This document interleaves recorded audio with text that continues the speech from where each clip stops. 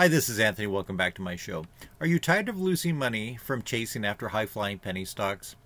When you're ready to redefine your investment strategy and hopefully pursue creating a well diversified long range portfolio, then here are some companies that you may want to do research on.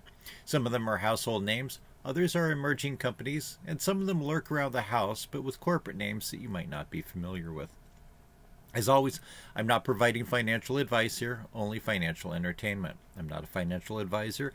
You should make your own decisions based on your own circumstances and needs. And if you have more complex needs, then hire a financial planner who has your best interests at heart.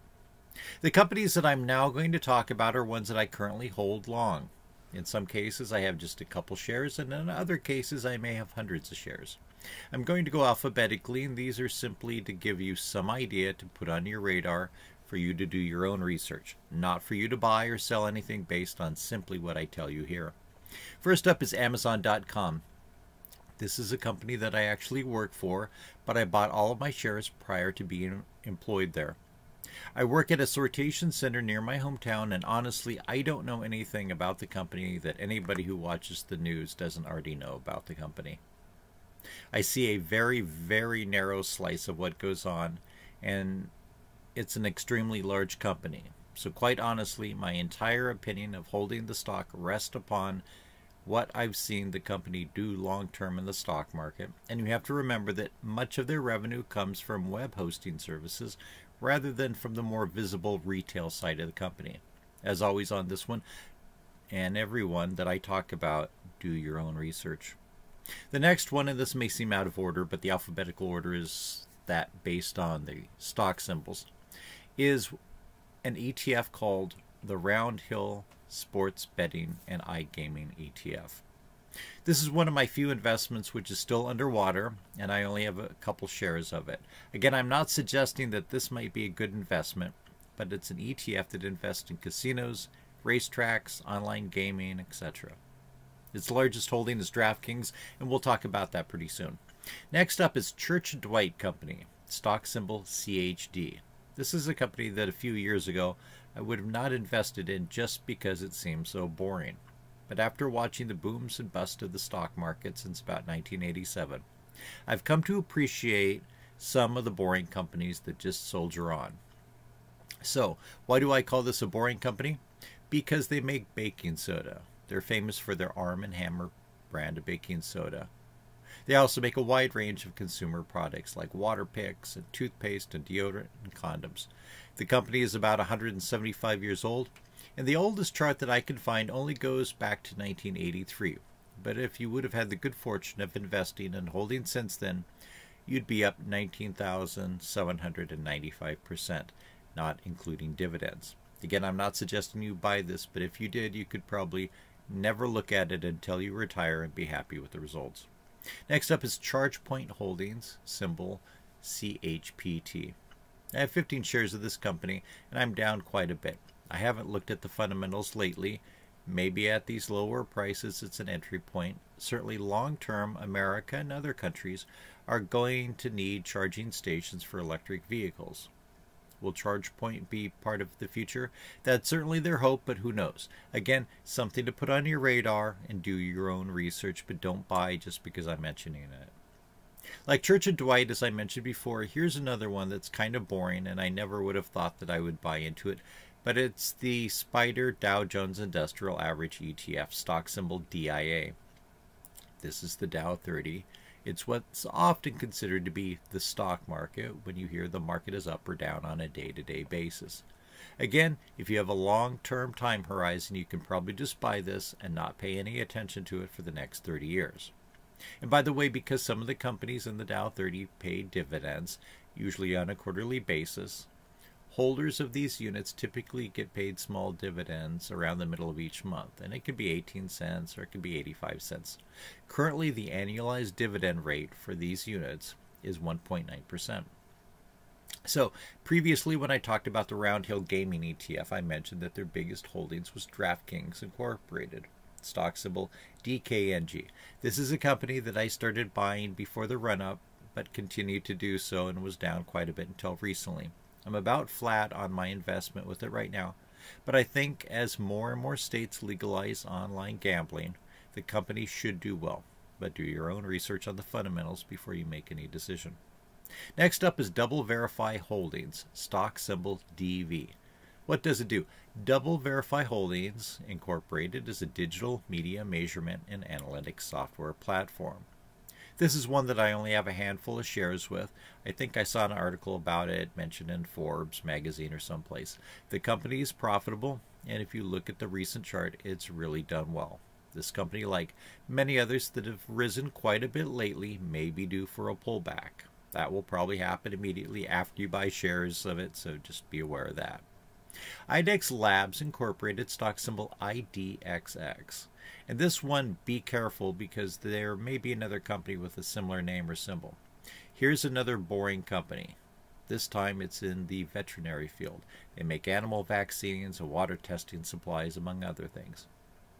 Here's another company that if you could get in a time machine and go back 30 years and buy shares for under a dollar, they would now be worth nearly $478 a share for a 50,000 270% return.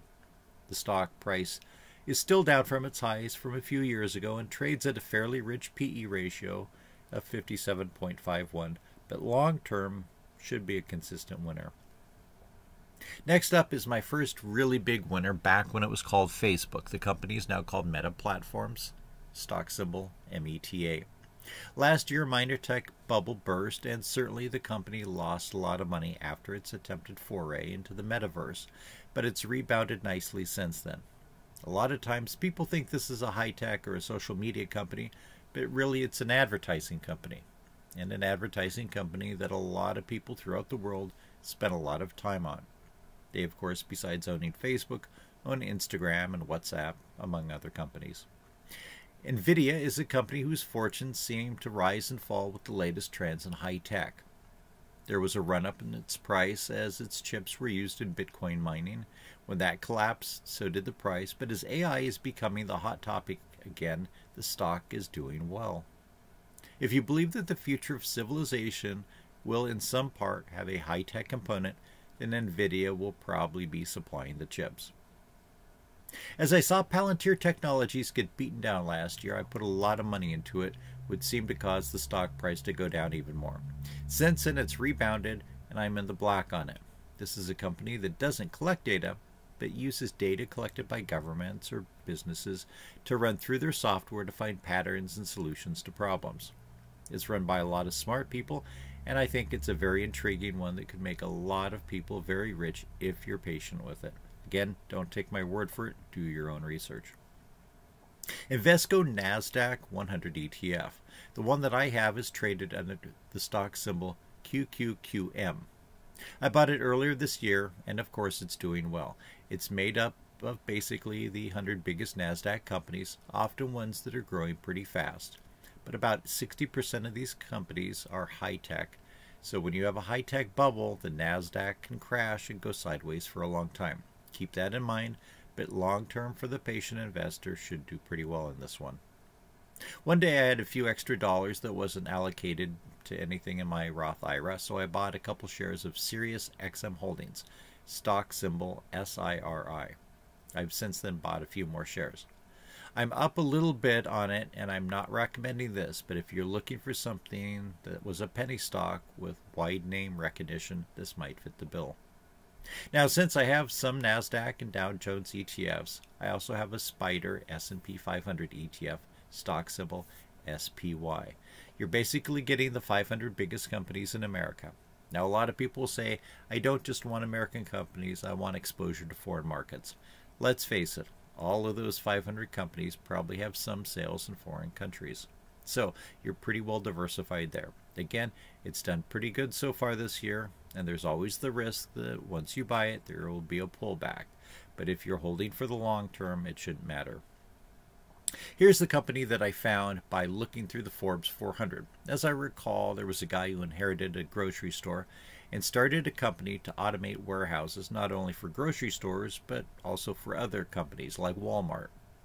At the time, the stock had been beaten down quite a bit last year, and I thought this seems like a no brainer. The company makes software and hardware for automated warehouses that can save money by eliminating the human factor in some of those facilities, while also riding the coattails of increased online shopping.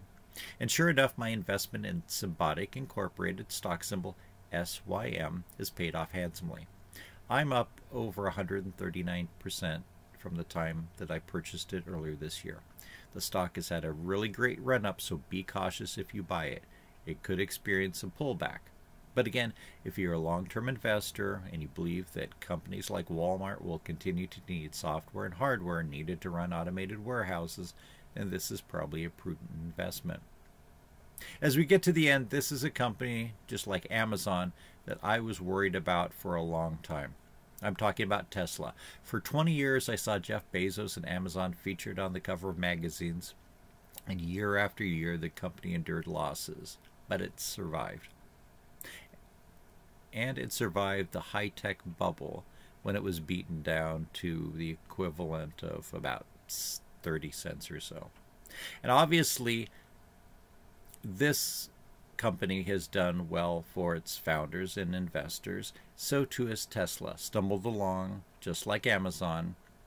And with its mercurial CEO, Elon Musk, it's given me concern for a lot of time.